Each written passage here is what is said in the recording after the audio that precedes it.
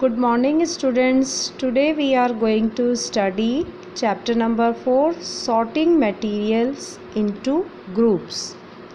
Materials को अलग अलग ग्रुप्स में डिवाइड करना या उनको अलग अलग कैटेगरी में डालना ऑब्जेक्ट्स अराउंड अस हमारे आसपास जो ऑब्जेक्ट्स होते हैं कौन कौन से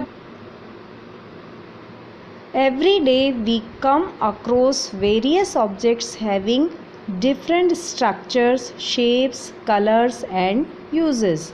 हम हर रोज़ अपने आसपास बहुत सारे वेरियस मतलब बहुत सारे अलग अलग तरह के अलग अलग शेप के कलर के और अलग अलग यूज़ के ऑब्जेक्ट्स को हम देखते हैं यूज़ करते हैं for example toys books furniture vehicles cooking utensils etcetera जैसे कि बुक्स है कॉपी नोटबुक्स है furniture cooking oil sorry cooking utensils खाना पकाने के बर्तन हैं, गाड़ियाँ हैं, ये सब हम देखते हैं।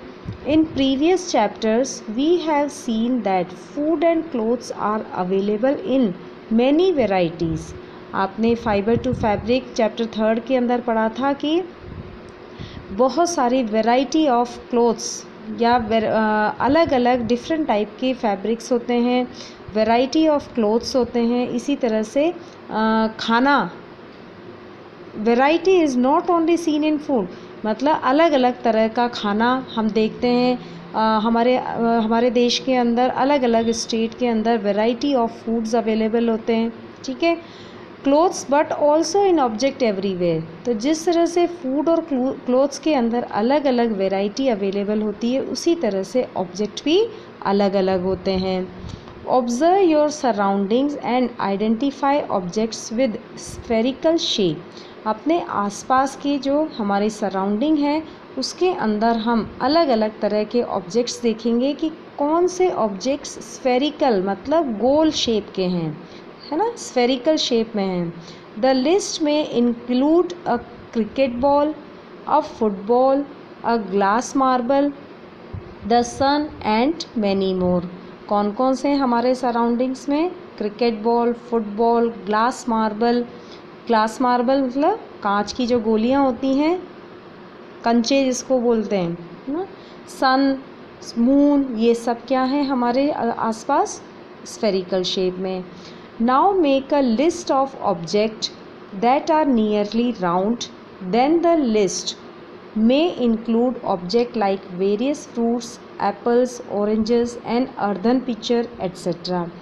मतलब एक लिस्ट बनाएँगे हम जो बिल्कुल राउंड हो नियरली राउंड हो और ऐसे ऑब्जेक्ट जिसके अंदर फ्रूट्स एप्पल्स ऑरेंजेस और अर्धन पिक्चर मतलब आ, मटका ये सब हों For instance, if we group edible objects, then the list would have included all the items discussed in table 1.1, 2 and 3 in chapter 1. Chapter one के अंदर ये इस तरह के बहुत सारे आइटम्स आए थे। फ़ूड और ऑरेंजेस एप्पल्स ये सब आए थे। अगर हम इनको अलग अलग कैटेगरीज में या जैसे अलग अलग कैटेगरी मतलब एडिबल ऑब्जेक्ट अलग ठीक है? और सन एंड मून को अलग उस कैटेगरी में डालेंगे ठीक है? तो किस किसके अकॉर्डिंग इनको हम अलग अलग कैटेगरी के अंदर डालेंगे?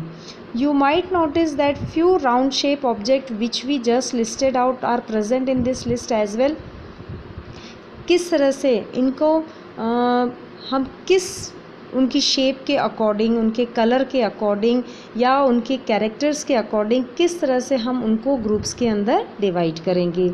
Daily use object like bucket stool lunch box toys water container pipes and other such objects can be group together as they are made of single material जैसे ये सारे ऑब्जेक्ट हम उनको कैसे कैटेगराइज करेंगे कि वो सिंगल मेटल से मटेरियल से बने हैं, जैसे कि प्लास्टिक से बने तो अगर हम इनको ग्रुप में डिवाइड करना चाहें तो हम देखेंगे कि इनका मटेरियल क्या है। कौन सा ऑब्जेक्ट लकड़ी का बना हुआ है, कौन सा प्लास्टिक से बना है, कौन सा ग्लास से बना है। तो मटेरियल के अकॉर्डिंग हम उनको क्या करेंगे? ग्रुप्स में डिवाइड करेंगे। All the objects around us can be group together in different ways लेकिन ये एक ही तो हम मटेरियल के अकॉर्डिंग ही तो हम उनको डिवाइड नहीं कर सकते। बहुत सारे तरीके होते हैं उनको अलग अलग ग्रुप्स के अंदर डिवाइड करने के। Till now we have group object based on their shape अभी हम किस किस के अकॉर्डिंग uh, हम उनको ग्रुप में डिवाइड करेंगे? देयर शेप एडिबिलिटी और the material they are made from मतलब उनका आकार कैसा है एडिबिलिटी कैसी है, या वो मटेरियल किसका बना हुआ है, ठीक है? Every object around us is made up of one or more material like metal plastic glass wood cotton paper or mud हमारे आसपास जितनी भी चीज़ें हैं, वो सब किसी ना किसी मटेरियल से वो एक मटेरियल से भी बने हुए हो सकते हैं, एक से ज़्यादा मटेरियल से भी बने हो सकते हैं। वो मेटल का भी हो सकता है प्लास्टिक का भी हो सकता है ग्लास का भी हो सकता है या लकड़ी का भी हो सकता है या इनमें से एक दो मटेरियल से मिल कर के बना हुआ हो सकता है। Make few activity first make few groups in the class with five students in each हम कुछ ग्रुप बनाएँगे उसके अंदर हर ग्रुप के अंदर पाँच स्टूडेंट्स को रखेंगे। Try to collect as many object as possible from the surrounding आसपास के हम अपनी सराउंडिंग से जितनी ज़्यादा चीज़ें कलेक्ट कर सकते हैं, उतना करेंगे। Each member of the group has to bring one or more object either from home or even present in the classroom or from outside the school premises हम क्या करेंगे? हर ग्रुप के बच्चे को अपने घर से, स्कूल के प्रेमाइसिस से क्लासरूम से क्या करना होगा? अलग अलग एक या एक से ज़्यादा ऑब्जेक्ट लाना होगा। Now all the groups will make their own list of collected material her group को अपने द्वारा कलेक्ट किए हुए मटेरियल को लिस्टिंग करनी होगी। The collection might have included notebook pencil bag rubber table, duster, hammer, nail, soaps, ये सब चीज़ें उसके अंदर कलेक्शन में इंक्लूड हो सकता है। The material can also be included in the list can not be brought to the classroom like trees trains tractor इन सबको भी हम, जो हम क्लासरूम के अंदर लेकर के नहीं आ सकते हैं। जैसे ट्रीज़ पेड़ को हम क्लासरूम में नहीं ला सकते ट्रेन ट्रैक्टर इनको हम लेकर के नहीं आ सकते हैं। इनको भी हम अपनी लिस्ट के अंदर इंक्लूड कर सकते हैं।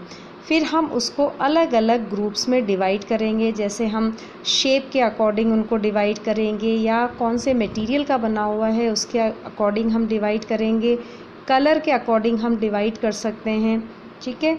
या आ, उनकी जो शेप है उसके अकॉर्डिंग गोल है या स्क्वायर है या अलग अलग तरीके से हम डिफरेंट वेज़ में हम उनको कैटेगराइज करेंगे। Now categorize all the object in two groups अब हम क्या करेंगे? इन सबको दो ग्रुप्स में डिवाइड करेंगे कैटेगराइज करेंगे. Object either made from paper or wood कि कौन सा ऑब्जेक्ट पेपर से बना है या वुड से बना है? In this way the object are divided into two groups easily तो इससे क्या होगा? ये जितने भी ऑब्जेक्ट हमने कलेक्ट किए हैं, वो दो ग्रुप में डिवाइड हो जाएँगे। एक तो पेपर वाला ग्रुप हो जाएगा और दूसरा वुड का ग्रुप हो जाएगा। Now only those object are left that are not made of these material अब इसमें से कौन से बच जाएँगे? जो पेपर या वुड से नहीं बना है। Similarly we can also separate the things that are use while cooking इसी तरह से हम एक आ, अलग एक ग्रुप बना सकते हैं जो खाना कुकिंग में काम में आते हैं खाना बनाने के काम में आते हैं। To be more organise list all the collected objects in table 4.1 अब जितने भी ऑब्जेक्ट्स को हमने कलेक्ट किया है, उसको हम इस तरह से इस टेबल के अकॉर्डिंग हम उसको ऑर्गेनाइज कर लेंगे। Identify the material of each object it would be a fun activity to tabulate several object and collect information about them तो इस तरह से ये एक्टिविटी क्या होगी? आपके लिए एक फ़न भी होगा, मज़ेदार भी होगा और एक आपके लिए एक नॉलेज भी मिले। उसको, उससे आपको एक नॉलेज भी मिलेगा कि कौन सा मटेरियल किस चीज़ को बनाने में यूज़ किया जाता है या कौन सा ऑब्जेक्ट कौन से मटेरियल से बना है।